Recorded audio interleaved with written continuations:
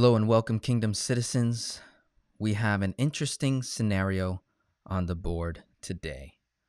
We're dealing with a woman, 69 years of age, 69 years young, at a Washington, D.C. area. And our primary goal in our personal finances here with this client of mine is to 10x, right? They want to drastically shift their whole financial environment. So let's dive into the four major numbers to begin with, right? We're dealing with income around $3,068 a month. Our expenses are $2,162.42. This is my living expenses, not including um, all of the debt payments. We have some interesting things going on in this case where our numbers are not totally accurate. So I am being super conservative and giving her a cash flow range of anywhere as low as $100 to as high as $300 to start off with. Okay. And we have a total debt. We're in September of 2020. $32,617.47. I do not have a debt tool at the moment. Here are the main debts on the board that she has. We're dealing with a credit card, which is now going to be somewhere around a $300 balance. Slight correction, we have a credit card at $761 where we're paying $40 a month. We have an EIDL loan that we recently got for $26,400. The payment is 130, but we don't have payments for the next 12 months. We have a couple of loans, one for 341.90, monthly payments $25 at 14.14%. We have another loan that we're not actually making payments on. They don't kick until later. I believe a couple months from now. The balance is at 3181.19 and we have a secured loan with Navy Fed at $1,326.65. The monthly payment on this is $90 at a 2.25% interest rate. We have property taxes, which is a debt overdue. $2,500 is the estimated amount, and she's paying about $200 a month. We also have a bunch of parking tickets, racking up about $900. Monthly payment on it is $100. Now, in this particular case, we are not positioned for the velocity banking concept for this to work effectively. So we need to do some things to position ourselves properly for the concept. Now, her goal is to build a business. Her goal is to 10x. We're 69 years old, and here's where creative financial strategy comes into play, where we don't normally go straight after paying off debt, which is what is the typical traditional uh, advice that we all get. I mean, even I do this, right? Typically, majority of the time, I push people to, you know, pay off some of your bad debts first before we start jumping into new things. Now, there are some exceptions, and I want to highlight some of the things that I look at when I'm getting ready to violate, say, some of my principal fundamental things that I, you know, live by or run by. And so, one of those things is the person's the individual's you know capability potential their desire to build a business to run a business to 10x their income right because i could easily create a plan where we simply start off by doing debt snowball right and i want to lay that out right so uh ideally if i have you know 100 to 300 dollars a month in cash flow typically I'm going to start off with a lower debts. I'm going to start knocking some of her credit cards that she has. And she has a couple other ones that I didn't really put on the board. I didn't mention everything because they're fairly small and they're going to get knocked off. But nonetheless, I would guide that person to naturally uh, go after their smaller debts, build the credit up, to then get access to a personal line of credit, to then start chunking, doing velocity banking, to then eventually graduate into infinite banking, and then eventually graduate into business, creating a business, running a business. Now, in her particular case, she already has a business. Okay. She's in the tax planning, preparing space, and she really wants to build this up. Now, the other thing I look at is her age 69 years old. I don't have all the time in the world to be focusing on, say, paying off all of my debt, especially if it's not, I should say, killing me. Now, I know the numbers are small, right? I know the numbers are small. I know the cash flow is small. But we have an opportunity to shift our way of thinking and position us for greatness and still go back to the fundamentals of, of paying off all our debt. So, if we were to go the debt snowball route and then graduate to velocity banking, then graduate to infinite banking, that could easily take about a year, year and a half to two years or so to really get ourselves up to that point. And then she can do things like cutting back, right? Being frugal, uh, minimizing on expenses, trying to reduce costs, right? All those normal traditional stuff, right? We can still do that with the next strategy that I'm going to present. So I just want to lay that out for everybody so that we, we don't get confused as to why Denzel is gearing this person to do something totally different from what we're accustomed to, right? So, some of the things I want to highlight is the fact that she has $15,000 in a savings account.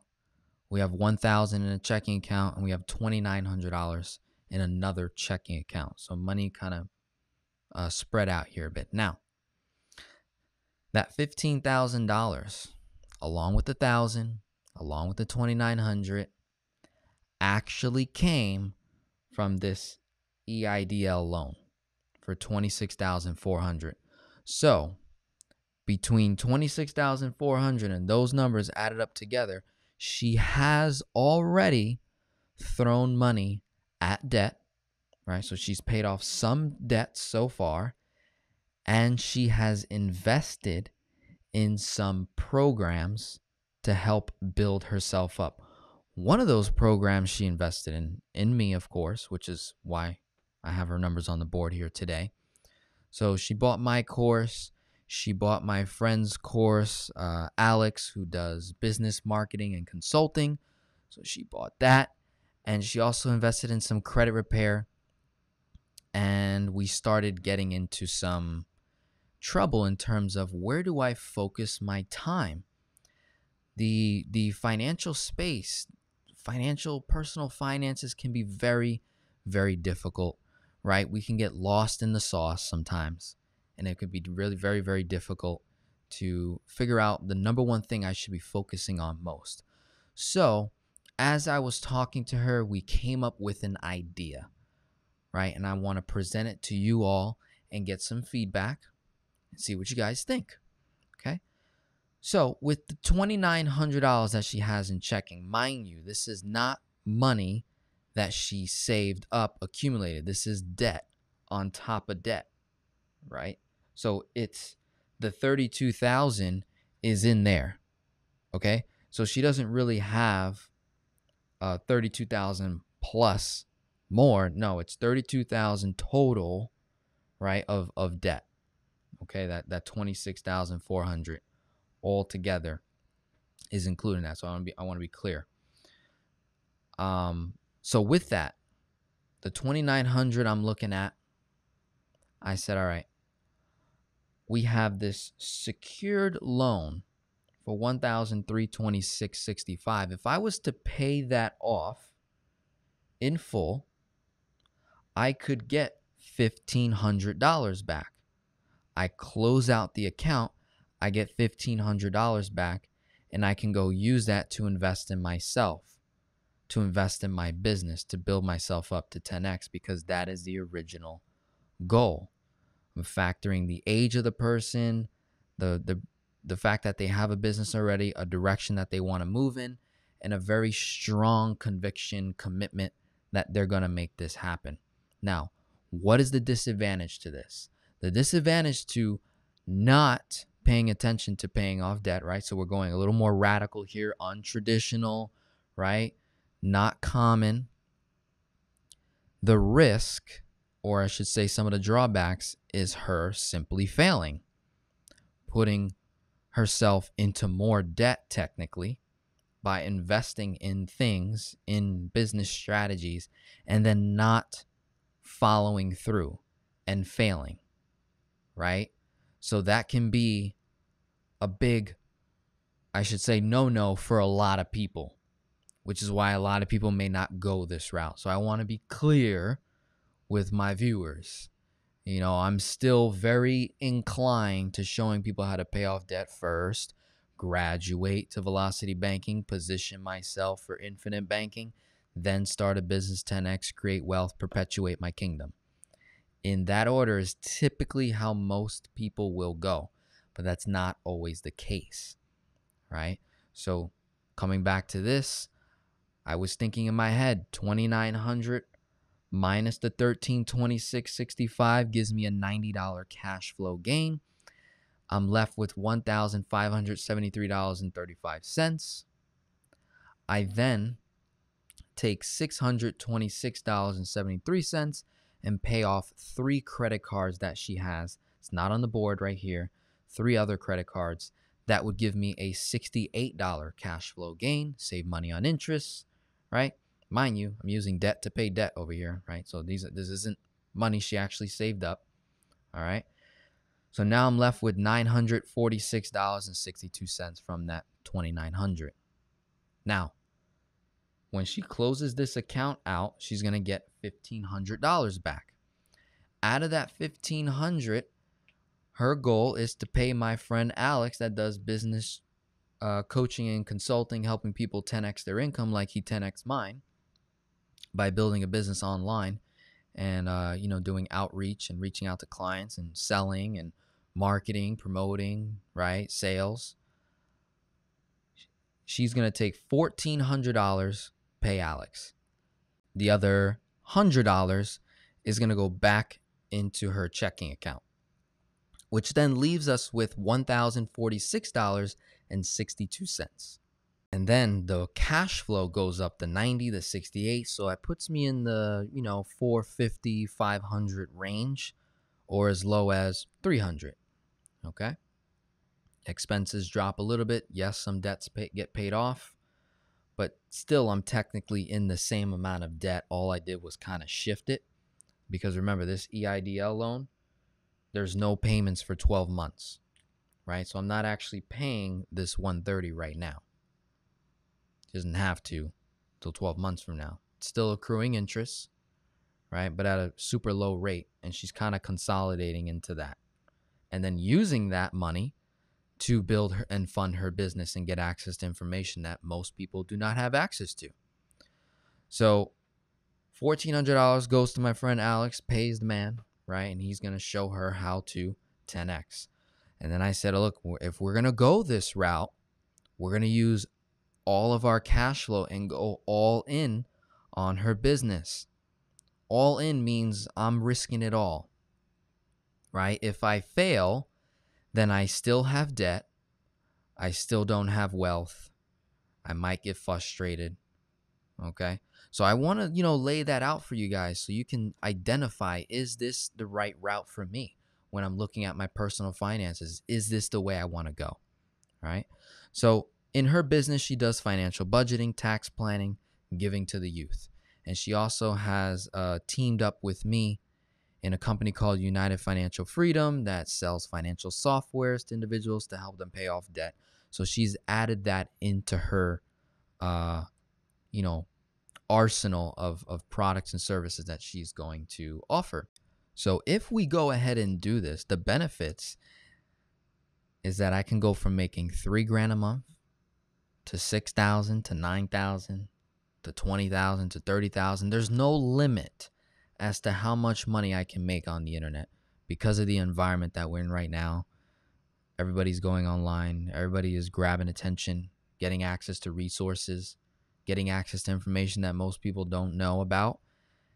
And, you know, I'm delivering it here to you today.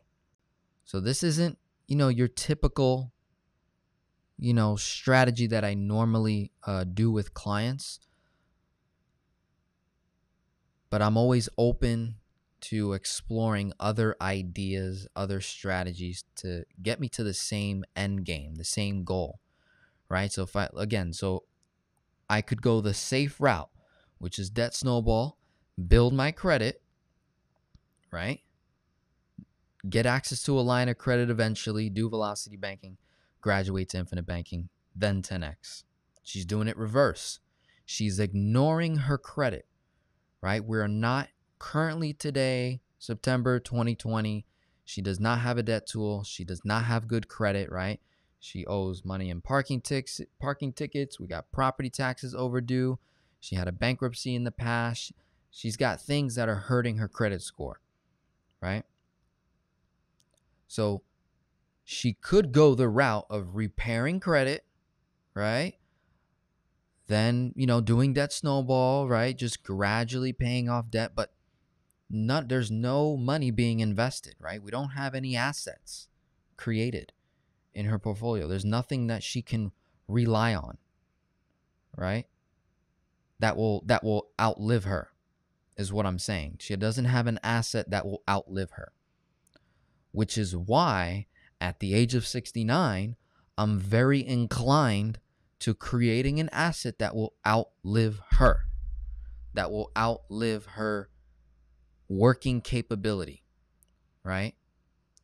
I would say maybe she's got a good 10 to 15 years left in the tank of, of working for someone else. Working for herself, she can do that forever. Anyone can do that forever. When you work for yourself, you empower yourself. It no longer becomes work. You're simply being. You're just simply being. You're becoming who you really are in this world and fulfilling a purpose. And you have ultimate satisfaction. You have heaven on earth. So to recap, out of the money that she has sitting from the EIDL loan, I'm only taking 2900 to pay off the secured loan, right? Why would I do that? That's the most amount of cash I can get back. I strip it back out and I throw it at my business. That's a write off. I'm investing in myself. $1,400 is what the program costs. I'm left with 100, got 1046.62, right? Uh, I also take 626.73, pay off some debts that could give me the highest cash flow gain, which is typically credit cards, right? Out of all her balances, the credit cards are the lowest balances for the highest cash flow and the highest interest savings. And then the 1000 that she has in the checking account and the other 1000 that's left over from that move is going to fund the business. It's going to help her create a membership based service for her financial budgeting courses, her tax planning, giving to the youth, um, selling the financial software that she teamed up with me on, providing that service, right? Creating her unique value proposition, her unique offer, her signature offer, her irresistible offer. She's going to create video content that costs money. Got to get the mic, got to get the lights, got to get the video, got to get the audio. So she's going to learn a lot of different things in the process of building her wealth. And as long as she doesn't quit, as long as she stays focused on one thing at a time. And here's where I believe having a fantasy league is very important in a world of information overload syndrome, IOS, right? I need to focus on a few people. I can't be listening to Joe, Susan, Rob, Mary, Tom, Tim, Jimmy, right? I got to listen to like one to three people, right? And out of those one to three people, each of them have different expertise. I'm not going to listen to three spiritual coaches. I'm going to get nowhere. I'm not going to listen to three financial coaches. I'm going to get nowhere. They're all going to have their own strategies, right? So, this strategy that I'm presenting gets the same results as if uh, I was to go, you know, from step one to step four, right? Positioning, debt snowball, velocity banking, infinite banking, 10x. The difference is time. How fast do I get to the end goal? If she commits, I know it is possible because I've done it that within six to nine months, a year at max, before the EIDL loan kicks in, she could easily 2x to 5x her income. If she does so, she could write a check and wipe out all the debt in one shot. It's not like I have $332,000 of debt. See, that is another thing I factored in here is age, amount of debt, and positioning. I know she has low income. I know the odds are against her. She's older, right? You know, cash flow's low, credit's bad. I get it. Which is why the logical person would say, okay, you got to get your finances in order, right? You got to get your, your credit right, fix your credit, do debt snowball, then jump to the next thing. But some people have that drive, that will.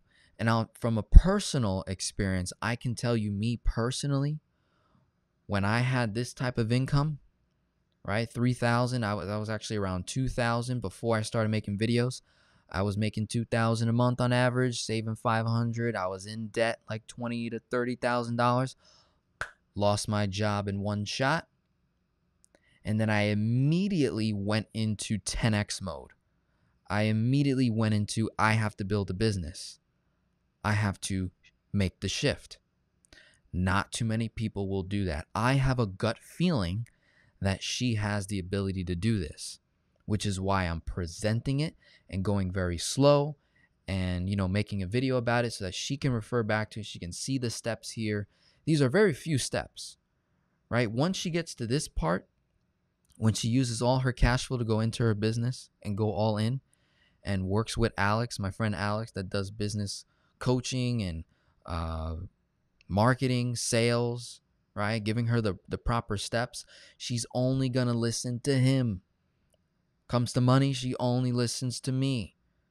Comes to spiritual, only listens to Jesus. Okay? Amen. So we have to have our fantasy league. We want to know where we're positioned at. We ultimately want to really focus on one thing at a time, not get overwhelmed, right? So at one point, she was like, I want to do, I want to fix my credit. I want to do debt snowball. I want to do velocity banking. I want to do infinite banking. And I want to 10X. I said, whoa, Hold up, hold up a minute. Hold up a minute. We got to pick one and go all in on it. So when I lost my job, uh, I was the same way. I wanted to fix my credit. I wanted to make income. I wanted a 10x. I wanted to start my infinite banking policy. I wanted to do velocity banking. And I said, I cut off infinite banking. I cut off velocity banking. I cut off debt snowball, building credit. I cut it all off and I put everything into my business to build it. Then I 10xed, and then I wrote a check, paid off all my debt in one shot, which was in the same amount of time if I would have gotten another job, started cash flowing again, and paying off debt. It would it would have took the same amount of time. The only difference is I'm in business for myself. I work for myself and I make 10x more than any other job I would have applied for based on the skills that I had. Okay. So I want to leave you guys with this interesting, untraditional way of obtaining financial freedom in a short period of time. We're talking six to nine months, up to a year at max to 10x her income. Even if she 5x, 2x, that is a drastic difference in cash flow gains. I could easily write a check, pay off all this stuff, and then I'm free of all the debt. And I have and I have a business and I'm cash flowing. Okay? So I just want to leave you guys with that. God bless. Enjoy the rest of your evening and talk soon.